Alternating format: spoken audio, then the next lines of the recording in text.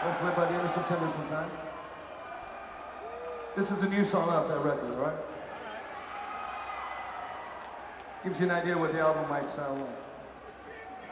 It might. A song about death and murder? This is Psychopathy Red.